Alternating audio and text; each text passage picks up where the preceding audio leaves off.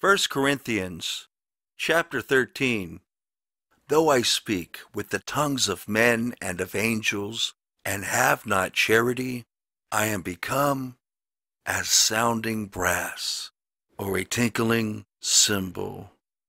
And though I have the gift of prophecy, and understand all mysteries and all knowledge, and though I have all faith, so that I could remove mountains, and have not charity, I am nothing.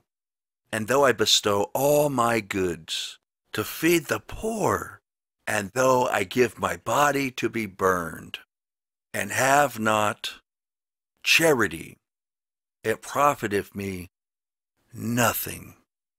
Charity suffereth long, and is kind. Charity envieth not.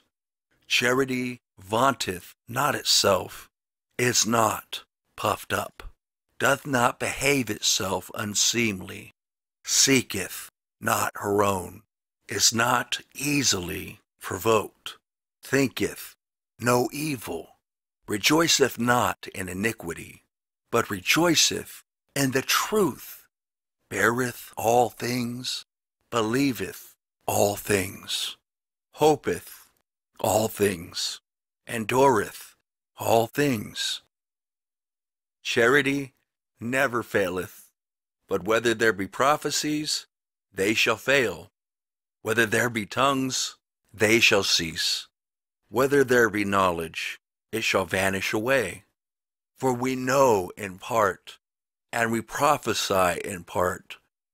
But when that which is perfect is come, then that which is in part shall be done away. When I was a child, I spake as a child, I understood as a child, I thought as a child. But when I became a man, I put away childish things. For now we see through a glass, darkly, but then face to face. Now I know in part, but then shall I know, even as also I am known.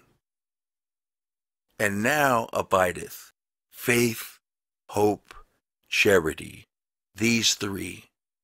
But the greatest of these is charity.